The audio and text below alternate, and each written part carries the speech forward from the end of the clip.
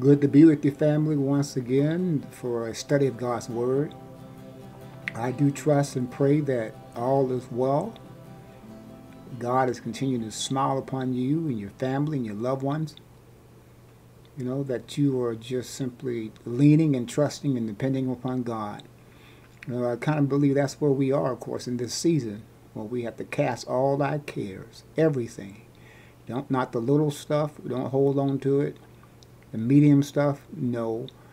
Everything. We need to cast all our cares upon the Lord because He cares for us. As I shared with you on Sunday, you know, we're kind of uh, not wrestling against flesh and blood, but the, the, the armies of the enemy, spiritual wickedness, powers, and, and all kinds of just, just spiritual forces that's been released upon the land. We can see the whole earth is groaning, of course, waiting for the manifestation of the sons of God. So we have to really buckle our belt. The Bible says, gird up the loin of truth. You know, we put on the whole armor of God that we may be able to stand. So hang in there. Continue to keep praying and trusting God. And God will never leave you. That's a promise. Never leave you. He will never leave you alone. So he will always be there with us. So even though you might be lonely, just remember you're not alone. God is there. Now I hope you're ready. We're going through the book of First Peter. And we're moving on now to chapter 3. Chapter 3, 1 Peter chapter 3. And Lord willing, we will cover all that we can in the allotted time frame that pastors working with or trying to work with. And I appreciate your patience with that. But again, let's get ready for the word. You have your Bibles with you. Let us pray and, and move forward. Father, again, we thank you. We love you. We praise you. We worship you. And I send out a special prayer, Lord, for those who are listening, those who are right now, whatever they're going through, wherever they're facing, Father, in Jesus' precious name. Give them the assurance that everything is going to be all right. Give them the assurance, Father God, that you will do something that's above and beyond all they can ask or think. And we pray that, Father. We thank you. We know that this is a kind of a challenging season for a lot of people, but there's nothing too hard for you. And we trust you now. So thank you for those who are part of this Bible study. And I pray in a very special way that you would just shower them with your love, your presence, and your grace. This we ask in Jesus' name. Amen. And you know, once again, I got to take the opportunity to say thank you. Each of you guys, you guys are special. I appreciate you so much. And you make Pastor feel special. Just as important as some any, any anyone else out there. And it's good to have you. Because I love you and I thank God for your presence as we study God's Word. All right, First Peter chapter 3, looking at verse 1. All right, First Peter chapter 3, verse 1. It says, Likewise, you wives, be in subjection to your own husband. Be in subjection. Now, you remember people, we, we, we, we studied this verse, especially a lot of times in married couples, because it, it is saying that the wife should submit to her husband. And you do that as unto the Lord. You know, it, it, it's not easy. You know, if, if you have a spouse or a husband who's, who's, who, who's not saved, it's, it's more challenging. But the, the scripture tells us that we should not be unequally yoked anyway with unbelievers. You know, and that's it, it's, it, it, the challenge would be to marry someone who also is saved. It doesn't guarantee, you know, um, success in relationship, but it does give you a good head start to realize that you have someone that has a good foundation. They're already saved. So it's easy to submit to someone, and let me talk to the husbands right now. It's easy to submit to someone who is submitted to God. The husband being the head, you know, God is over him, and, and but he's over the household and responsibility. And when it, God is his headship, oh, it's so much easier for the wife to submit to the husband. and, and be subject to that to that to that spouse. So we do that. That's what the call is. That if any obey not the word, I like this, they also may without the word be won by the conversation of the wives. So if there's anyone who does not obey the word, they may also be won by the conversation of the wives. That word conversation does not mean talking. That word conversation means uh, the way of lifestyle, the way of living. You know, so wives, your way of living can can can captivate your husband in such a way when you live a life of holiness and a life of beauty around him. So I, obviously, that's what the Scripture is saying. He, he may, without the word, be won by the conversation. The way you carry yourself, the way you present yourself, is what this is saying. And the husband himself can be won and, and, and by and be, can be saved by your character and your behavior. Verse 2 says, While they behold your chaste conversation coupled with fear, whose adorning let it not be that outward adorning of plaiting the hair, and of wearing of gold, or of putting on apparel. All right? Whose adorning let it not be that outward appearance. And look at where we live. Look at where uh, society is, the world is. They're, they're just the opposite of that. All the emphasis appears to be placed on the outward appearance you see all the commercials. You see uh, clothing. You see mascara, eyelashes, makeup, all kinds of things that place the emphasis on the wrong thing. You know, not saying that you can't look good and be beautiful and be as, as attractive as you desire for your spouse, your husband. That's fine. But the true, the true cultivation should take place inside it's the inner beauty that makes the difference. Yeah, not the styling of the hair, not the appearance. It's the inner inner beauty of a person. Because I've seen some, yeah, I've seen some very you know uh, attractive individuals, young ladies, but their personality, who they are, you know, when they open their mouth and reveal themselves, it was something totally, totally different. So, what he is saying is not the outward appearance.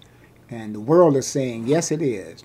You know, you can get a, you know, a tummy tuck and, and nip, and you can do fat suction and all kinds of stuff. There's billions of dollars spent on the outward man. And he's saying this, especially to the ladies.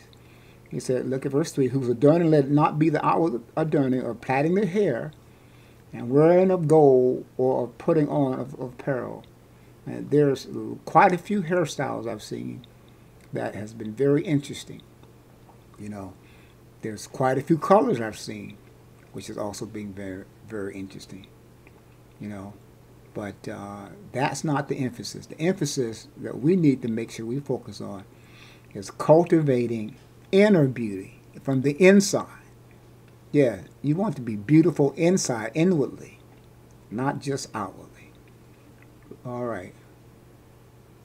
But let, verse 4 says, Let it be the hidden man of the heart, and that which is not corruptible, even the ornament of a meek and quiet spirit, which is in the sight of God of great price. A meek and quiet spirit. Cultivating that type of spirit. Working with, you know, keeping yourself uh, just humble and quiet for your husband walking in holiness and love. That's what God is after. And in the sight of God, this is a great price. Isn't that awesome? So when you do that, you live that kind of way, you walk before your spouse, that is a great price to the Lord. It's very precious. All right, verse 5. For after this matter in the old time, the holy woman also who trusted in God adorn themselves being in subjection unto their own husbands.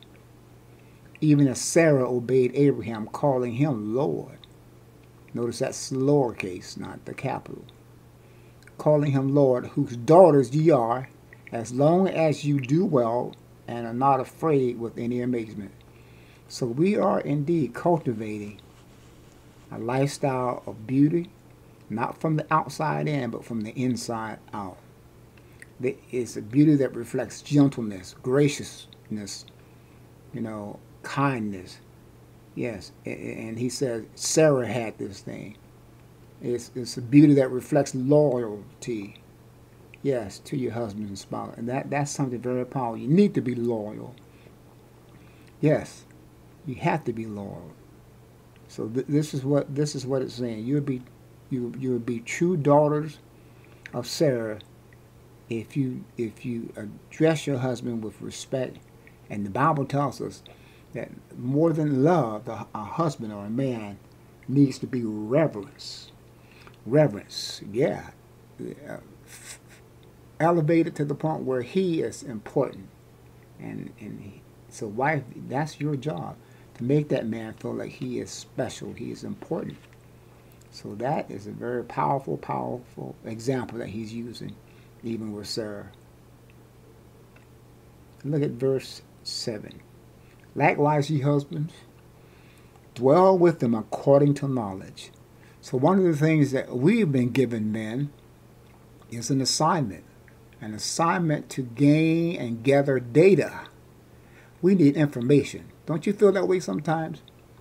Yes, sometimes a wife could be different or a different mood or goes through uh, different changes and so forth. You need to study. Yeah. You need to dwell with them according to what? Knowledge. Yes. Uh, she is an assignment where you need to gather all the information that you can to make sure that mama's happy. Yes. Hallelujah. Amen. So he says, what? Verse 7, likewise ye husband, dwell with them. And that's something. Dwell with them. You got to you got to be there. You know, you you, you can't can't leave now. You got to dwell with them. But you use knowledge, you use wisdom what things bother her, what things upset her. You know, what, what, what things I do, you know, that that that causes friction or even even strife in the relationship. Those are things that you got to consider. All right? And so why is this so important, dwelling with them according to knowledge? Because when you become one as a couple, as a married couple, even it affects your prayers. God sees you as one. And Look what it says. Likewise, ye husbands, dwell with them according to knowledge, giving honor unto the wife as unto the weaker vessel. All right. And as being heirs together of the grace of life, that your prayers be not hindered. Isn't that something? So, one of the reasons we dwell together, one of the reasons we get knowledge, and we want to make sure that we keep the marriage free from strife. You don't want any strife to enter into the marriage. You don't want any schism. You know, have have have one not talking or speaking to the other. That's a uh, that's just a, a deceitful treat, a trick of the enemy. Yes, to have you not talking because you want your prayers answered. I know I want my prayers answered. I don't want my prayers bouncing off the wall, bouncing off the ceiling. But it said, hey, you, you dwell together you get knowledge, you learn, you, you, you, you assess each other. You know what upsets them, you know what causes problems. And the reason you want to do this, this is so important and so precious, it's because you don't want your prayers. Prayers is when we intercede and when we present our cases before God to be hindered. I don't. We don't want nothing hindering our prayers, and we most certainly don't want it to be close enough in the family. Yeah, that's hindering. It's hard enough with Satan, you know, trying to stop your prayers from being delivered. Remember Daniel in the Old Testament. But you sure doesn't. You sure don't want your, you know, relationship between you and your spouse to be, you know, schism and and and, and, friction and discord. You don't want that at all, because that that too can surely cause some of your prayers to not be heard. Yes. Isn't that something?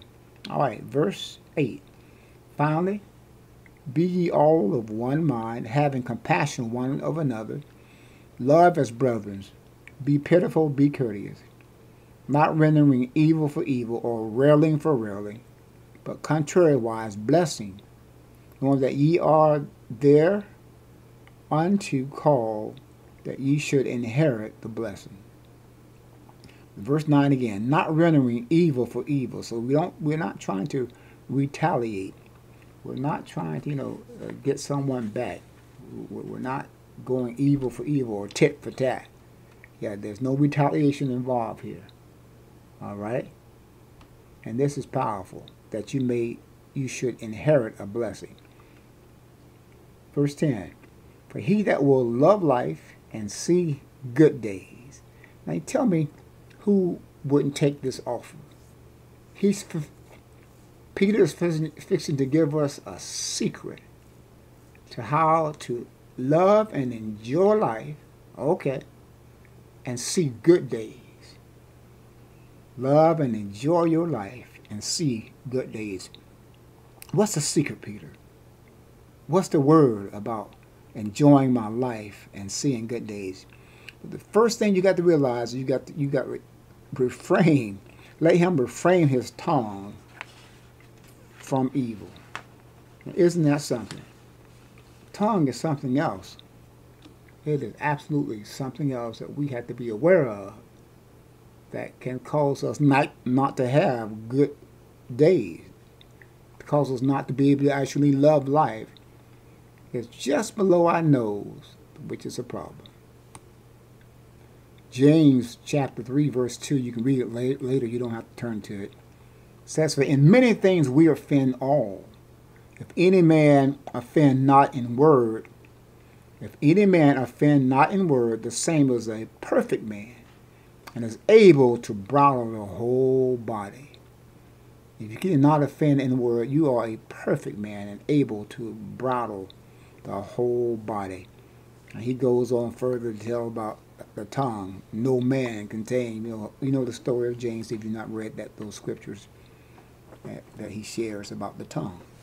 If you go to Old Testament, Proverbs chapter 18, verse 21, gives us a description on this tongue. It says, Death and life are in the power of the tongue. Isn't that powerful? That thing just a couple of inches below your nose has the power of death and life. Death and life. So think about that.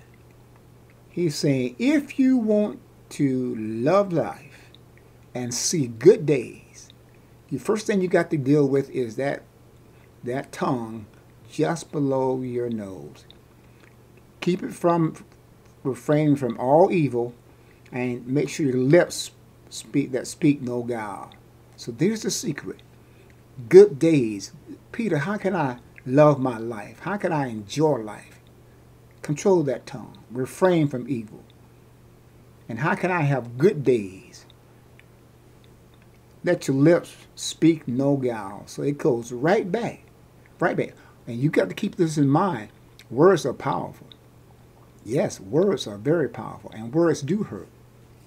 That old thing, this thing, sticks and stones may break my bones, but you know, words don't hurt. That is not true. Words do hurt. They they actually do hurt. You know, when I think about this, you know, I think about this pastor, this this joke here, this pastor who was thinking about getting dentures and uh, sure enough, he, he went to the dentist and everything and came back to the church.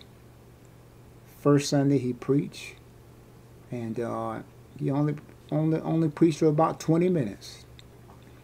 Came back the next Sunday he preached, and he preached a little longer. He preached about 30 minutes.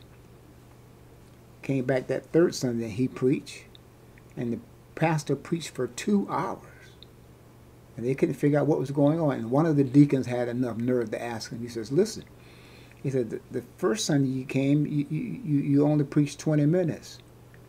The second Sunday, you, you preached a little bit over 30 minutes. But but today you preached for two hours. He said, what, what happened?" Well, the pastor said, "Well, the the first the first Sunday I preached, uh, I had just got fitted for for uh, my dentures. The next Sunday I preached, uh, my gum was still a little sore.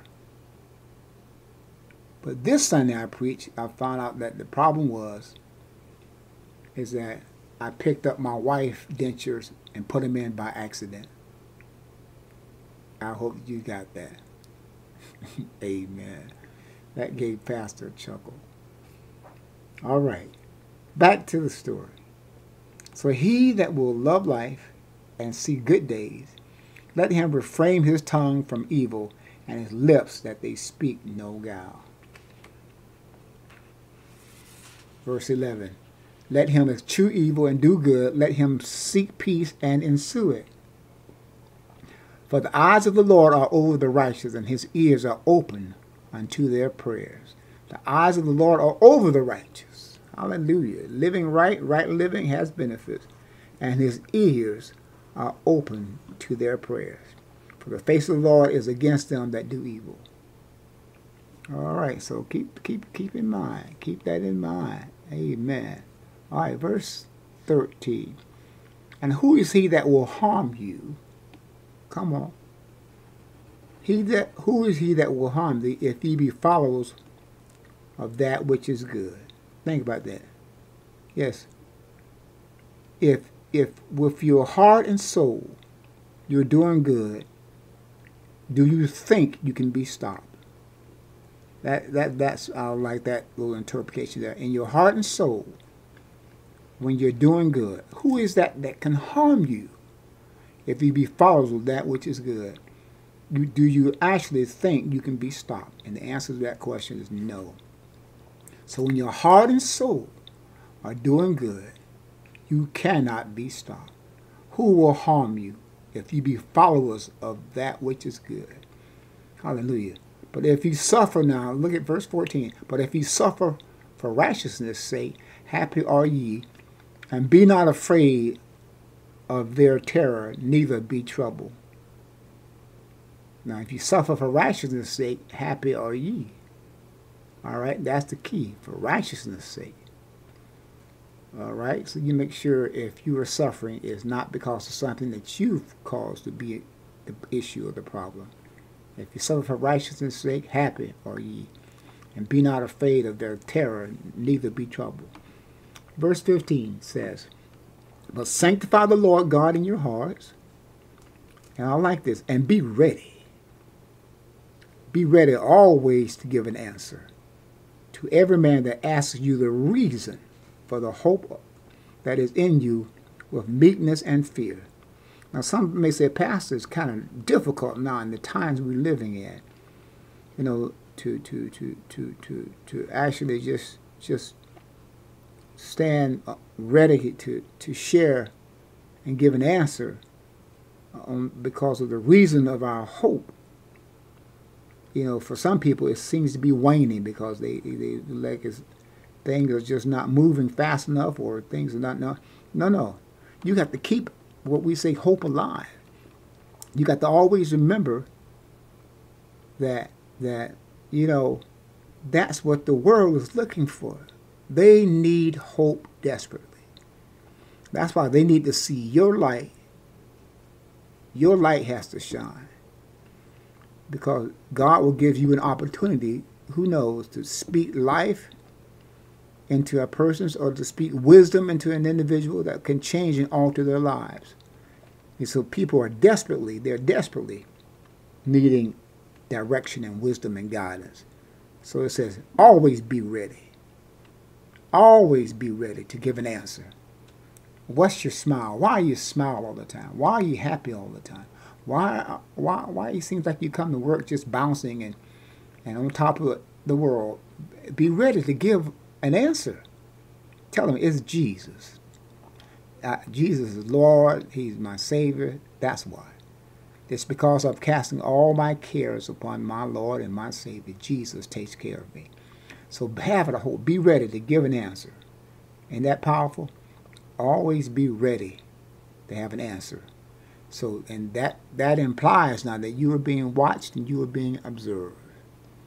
All right, let's look at verse 16. Having a good conscience that whereas they speak evil of you as of evildoers, they may be ashamed that falsely accuse you, uh, or falsely accuse your good conversation in Christ. For it is better if the will of God be so that ye suffer for well doing. All right, that's the key word now. If the will of God means that you're going to go through something for doing well, that's okay. Than for evil doing. But you want to be sure it's not because of something you done that's wrong or that's evil. Verse 18. For Christ also have once offered for sins, the just for the unjust, and that he might bring us to God, being put to death in the flesh, but quickened by the Spirit. Being put to death in the flesh, our Lord and Savior was quickened by the Spirit. And when you think of the, the, the, the message Bible interpretation of those verses, it says, In with heart and soul you're doing good. do you think you can be stopped? No way. Even if you suffer for it, you're still better off. Don't give the opposition a second thought.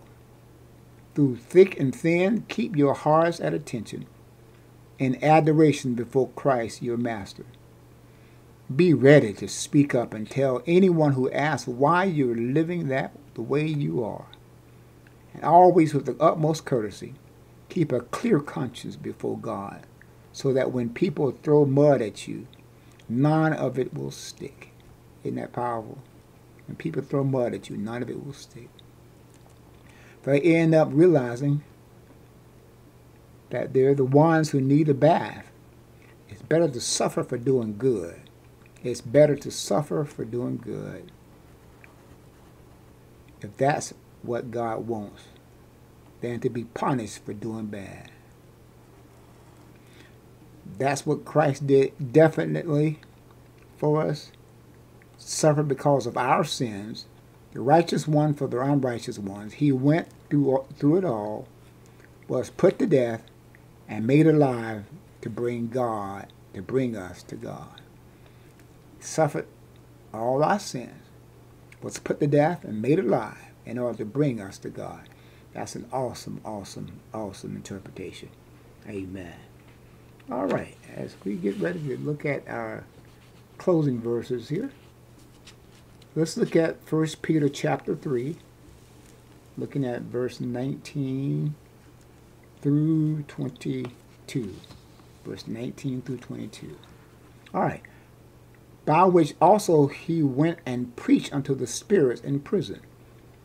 Jesus went and preached to the spirits of prison. Now, there's a lot of different interpretations for this particular verse, uh, but the one that's favorable for me, now some people think that it's, it's you remember in Genesis, before giants was born in the land, it says that the sons of God saw the daughters upon the earth, that they were, you know, fair, beautiful, and it's kind of it sounds like the way the verse teaches is that these were angels who had had intimate relationships with earthly women. But that's not the case because when you understand this you realize jesus made it very clear about the, our status when we go to heaven. He says when we are in heaven we neither marry or giving in marriage. We'll be like the angels. Remember that? We'll be just like the angels the angels, they don't marry, they don't give in marriage. Angels don't don't have sexual relations, and that's what he's he's sharing here. So well, then who are those spirits? I believe, and another another translation and, and interpretation of it, I believe that it was during Jesus' death, after his crucifixion, that he went into the very pit of the earth opportunity for, for those who preceded Christ to accept Christ. Uh, let me say that again. An uh, opportunity for those who preceded Christ to accept Christ. Making sure all bases covered.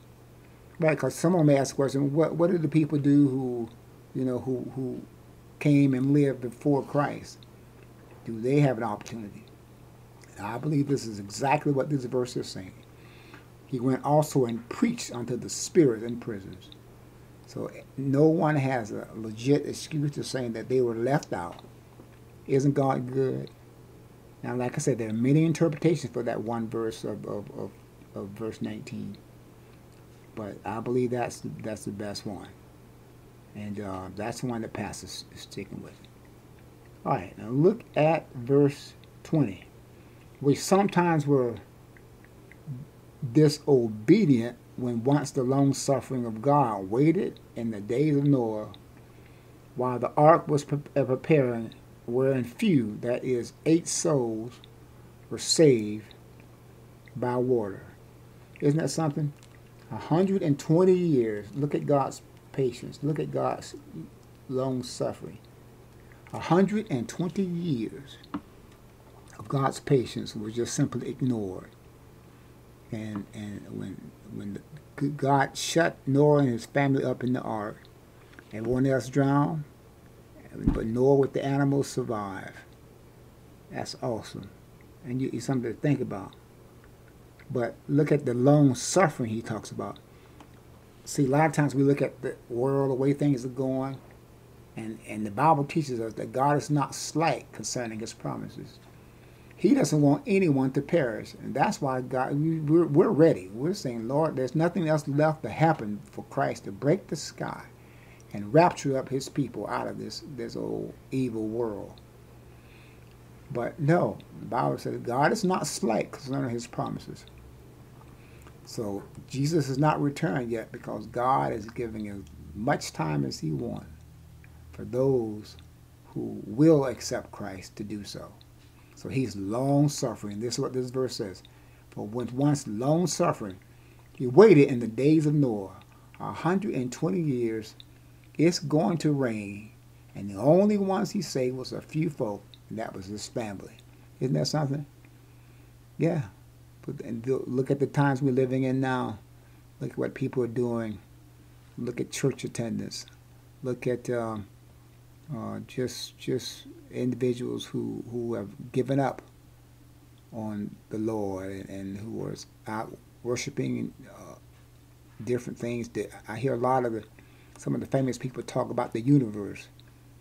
And why would you worship the universe when God created the universe? But anyway, only a few were saved, eight souls to be exact. Verse 21 through 22. The like figure whereunto even baptism does also now save us, not the putting away of the filth of the flesh, but the answer of a good conscience toward God by the resurrection of Jesus Christ. And verse 22 says, Who is gone into heaven. All right. Who is gone into heaven and is on the right hand of God, angels and authorities and powers being made subject unto him. Angels, authorities, and powers being made subject unto Jesus. We have a special gift and an awesome weapon. We can call on the name of Jesus. There's power in that name. There's deliverance in that name. There's healing in that name. We can call on the name of Jesus. And I like to just close this out with the amp, with not the amplified, but the message interpretation of verses 19 through 22. Say he went and proclaimed God's salvation to earlier generations who ended up in prison of judgment because they wouldn't listen. You know, even though God waited patiently all the days of Noah that he built the ship, only a few were saved then eight to be exact, saved from the waters by water. The waters of baptism do that for you, not by washing away dirt from your skin, but by presenting you through Jesus. Resurrection before God with a clear conscience, Jesus has the last word on everything. Jesus, hallelujah, has the last word on everything. Say that again. Jesus has the last word on everything. Jesus, not the devil, not your circumstances, not your situation, not your body, not your doctors, not not the banker. No, no.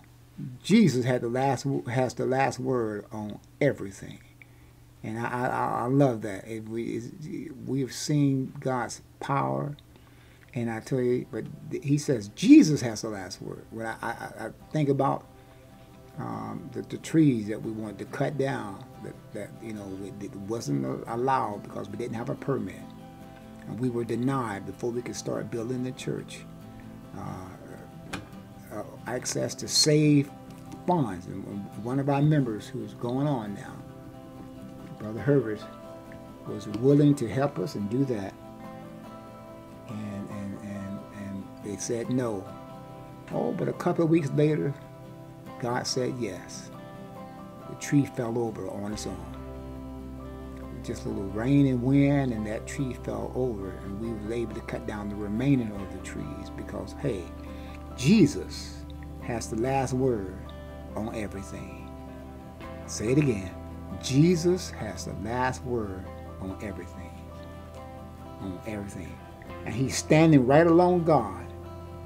And what he says goes you need to kind of imprint that in your heart this week I know some of you, let's say, the, the times are challenging and I don't know personally what you're going through.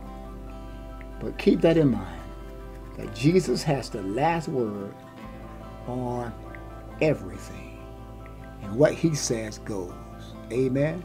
So, not the doctor, not the banker, not your circumstances, not your situation. You continue to keep praying and trust the Lord. And say this with Pastor as we get ready to close because Jesus, say it with me, say Jesus has the last word on everything. Amen and amen. God bless you, family. We love you. We thank God for you. It's always my pleasure and honor being with you, spending this time together. Continue to pray for one for another. Continue to lift us up, and we lift you up.